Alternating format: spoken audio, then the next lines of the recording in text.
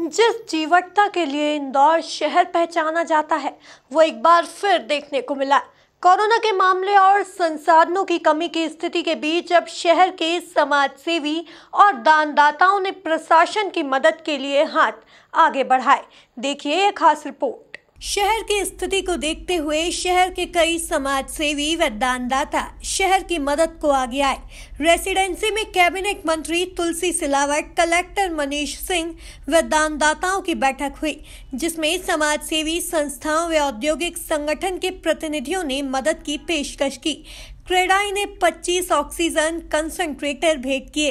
तो राधा स्वामी सत्संग परिसर के कोविड केयर सेंटर में बन रहे ऑक्सीजन प्लांट के लिए एक करोड़ से ज़्यादा का फंड देने की घोषणा की।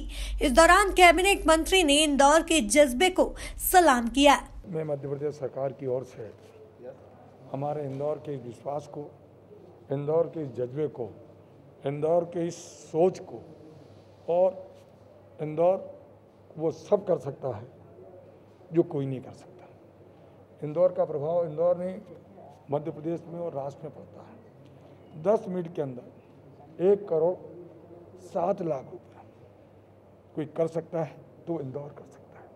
और इस संकट में, इस महामारी में, इस कोरोना वायरस में, जब कई चीज़ों का अभाव हो, साधन की कमी हो, पूरा इंदौर खड़ा है। मैं पूरी सरकार की ओर से इन सबको नमन करता हूँ और जीवन भर आभार व्यक्त करता हूँ और अभी ये लड़ाई लंबी चलेगी।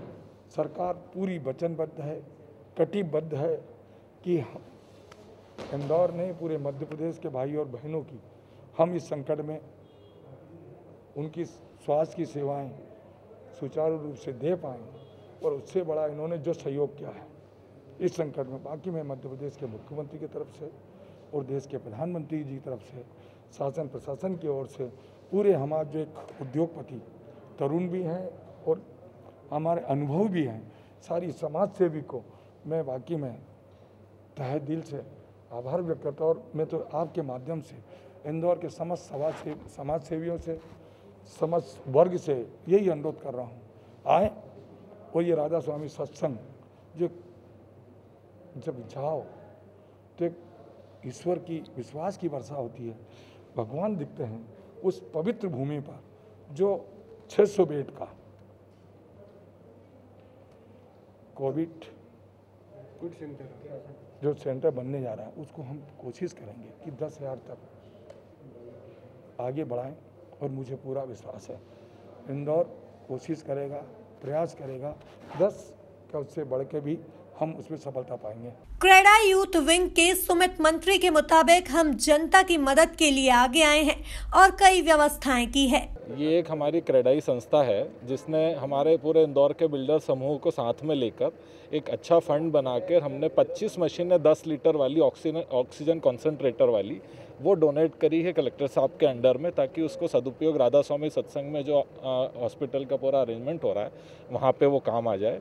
सेकेंडली हमने एक शव वाहन डोनेट करा है गुरुजी संस्था को, ताकि वो उससे गुरुजी सेवा न्यास को, वहाँ पे मात्र तीन सौ रुपये में किसी भी व्यक्ति को हॉस्पिटल से शव मतलब अंतिम संस्कार के लिए वहाँ पे ले जाया जा सकता है।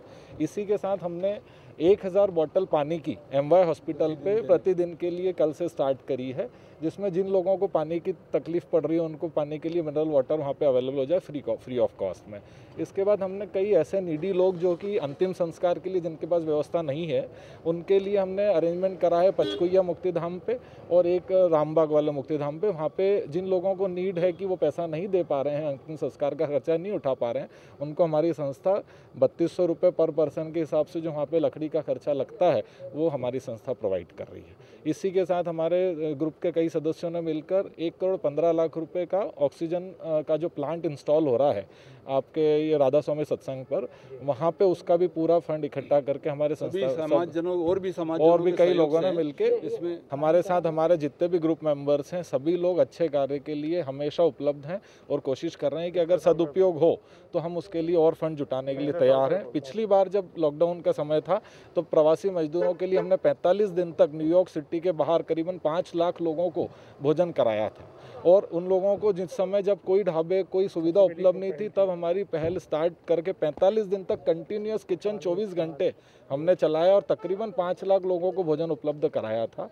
और आज भी हमारी संस्था तत्पर है, जब भी नीड होगी, जितनी नीड होगी, हम उपलब्ध कराएँ। देखा जाए तो इंदौर जिस जीवटता के लिए पहचाना जाता है, वह एक बार फिर सार्थक होता नज़र आया है। Bureau report MP news Indore.